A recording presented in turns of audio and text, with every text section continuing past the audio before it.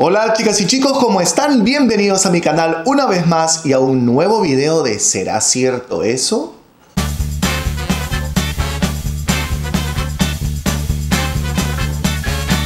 Hoy día les traigo una paleta de sombras muy, muy, pero muy pedida por muchas de ustedes, pero casi, casi no hago este review porque es una paleta que solamente la sacan por una temporada muy corta, eh, normalmente es a fin de año y estoy hablando de la Lorac Mega Pro, esta es la número 3, pero así como esta Lorac ha sacado ya dos anteriores, o sea, son tres en su haber, está la Lorac Pro Mega Pro 1, Lorac, Mega Pro 2 y esta es la Lorac Mega Pro 3, ¿ok? La Lorac Mega Pro 2, que sí la tengo, es esta de color azul, que ya tengo un review hecho sumamente detallado desde el año pasado, que si quieren lo voy a poner abajo en la cajita de descripción. Ahora, ¿por qué casi no hago un review de esta?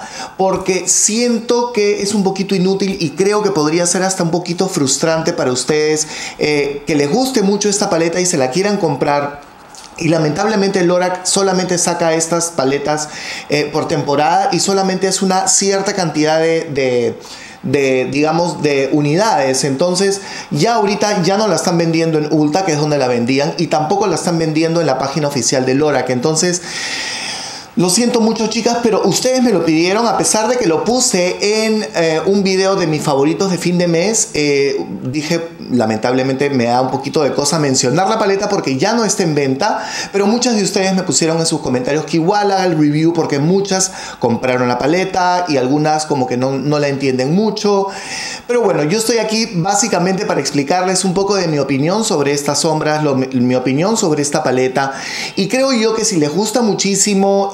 o eres coleccionista de maquillaje como yo, en todo caso, es una paleta que la puedes conseguir por eBay de repente o no de repente. Está en eBay, yo la he visto, la están vendiendo, hay bastantes unidades en eBay, pero cuesta un montón de plata. Están, están como por los 80 dólares más o menos, cuando en verdad esta paleta cuesta 50 y pico dólares.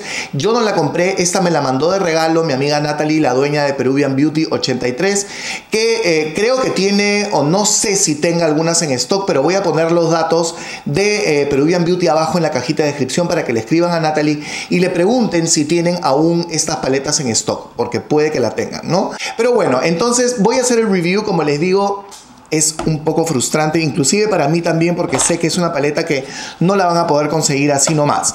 Pero bueno, es esta paleta, quiero que vean los colores. Es hermosa, muy muy linda. Eh, vienen con una cantidad de 32 sombras, son 32 colores de sombras. Imagínense, es una maravilla porque tienes acá todos los colores que necesitas para hacer un look totalmente natural y neutral y también darle un poquito de intensidad como por estos tonos. Pero la paleta lo que más me gusta es que eh, la calidad de las sombras viene con un lindo espejo, por si acaso pero siempre todas las paletas de Lorac vienen así con espejo grande y cómodo. Eh, lo que me gusta de la paleta es básicamente que tienes estas dos primeras filas son 100% mate los colores, 100% mate y son colores neutrales. Y las dos últimas filas son colores metálicos con shimmer y algunos tienen eh, escarchas, y un par creo que son escarchados, pero los demás son simplemente metálicos y muy pigmentados. Eh, voy a hacerles un swatch así, así. A ver, um, vamos a hacer este acá. El negro, que es espectacular. Y vean. ¿Se dan cuenta? La pigmentación es brutal. Pero como todas las paletas Lorac, y por eso lo soplo, tienen un pequeño problema con el tema de la caída y eh, son un poquito espolvorientas. Hay que reconocer eso, pero vean esa pigmentación, es increíble.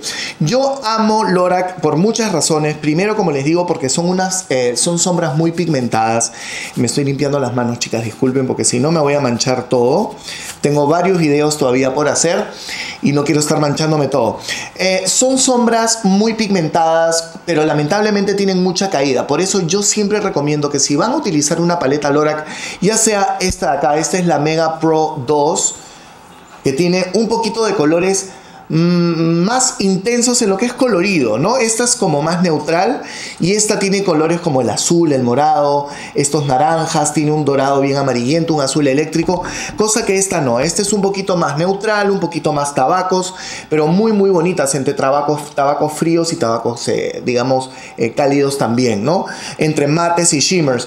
Pero yo lo que les recomiendo es siempre que utilicen estas paletas de Lorac, eh, traten de hacer primero los ojos, terminan de hacer sus ojos, luego limpian con un wipe toda esta zona y al final ponen la base, porque lamentablemente tienen mucha caída, pero eso no quiere decir que sean de mala calidad, muy por el contrario, son definitivamente una de mis sombras favoritas, porque vean, también tengo este, este es la Lorac Pro. Vean, si se dan cuenta, le he dado mucho cariño. Estas son paletas, chicas, que yo no saco de mi kit. Efectivamente, siempre están en mi kit. Tengo estas con eh, metálicas, estas son las chocolate Vean. O sea, tengo una alta colección de Lorac porque son sombras que definitivamente yo recomiendo porque son muy buena calidad.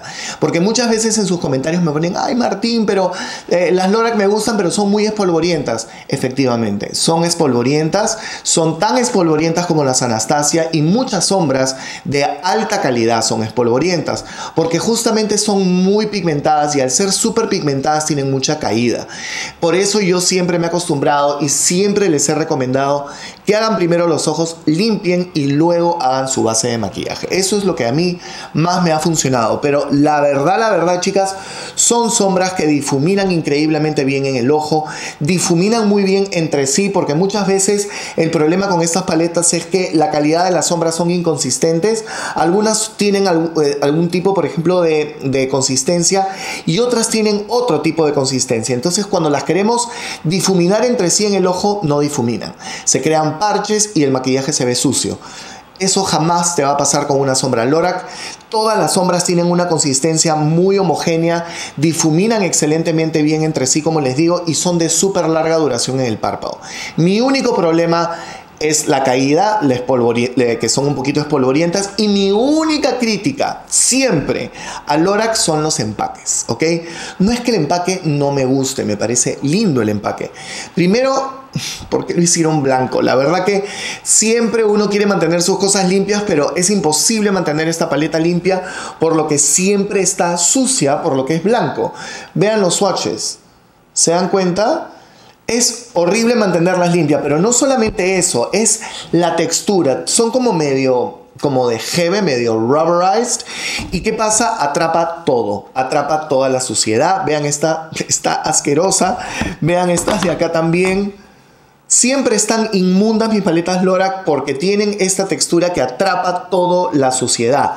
Y por más que uno les pase el trapito, no llegan a estar completamente limpias e inmaculadas como me gustaría. Pero básicamente esa es mi única crítica de la paleta, chicas. Realmente con esta paleta puedes hacer miles de looks neutrales, dándole un poquito de color con este rojo. Este es uno de mis colores favoritos de toda la paleta que se llama Pomegranate lindo. Es un color cranberry muy bonito. Y también me gustan estos dos metálicos, estos cuatro metálicos de acá son bellos. Y estos de acá, este, este, este y este, wow bellos. Y también no solamente tenemos los, los, los, neutrales eh, cálidos como estos, sino que también nos están ofreciendo estos neutrales que son fríos, ¿ok? Que son un poquito más al rosa, que a mucha gente también le va bien. Como les digo, es un review sumamente rápido porque eh, eh, ya les digo, es una paleta que no la van a poder conseguir así nomás a precio regular. Van a tener que batallar consiguiéndola, pero nunca es imposible. Así que pueden buscar tanto por Amazon como también pueden buscar por eBay. Eh, y hay un montón de páginas web que también las podrían estar revendiendo. Inclusive, como les digo, Peruvian Beauty 83 aquí en Perú. Pueden encontrarla o hay que preguntarle a Natalie, en verdad no estoy seguro si la tienen. Pero como les digo, voy a poner todo en la cajita de descripción. Y vean eso, es, ahí está la pigmentación. Como les digo, Lorax siempre una maravilla como calidad de sombras. Quería también comentarles que toda esta semana o la siguiente semana estoy probando estos fondos de colores. A mucha gente le gustan los fondos. A mí en lo personal me gusta, me gusta cómo se ve el efecto.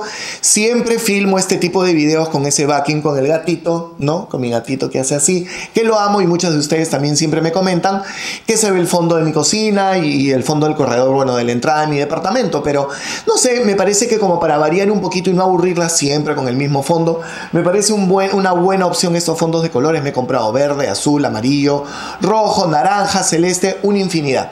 Así que voy a estar utilizándolos, pero me encantaría saber sus opiniones porque la verdad siempre me interesa saber sus opiniones, las valoro muchísimo. Así que en sus comentarios, por favor, por favor, coméntenme si les gusta o no les gusta.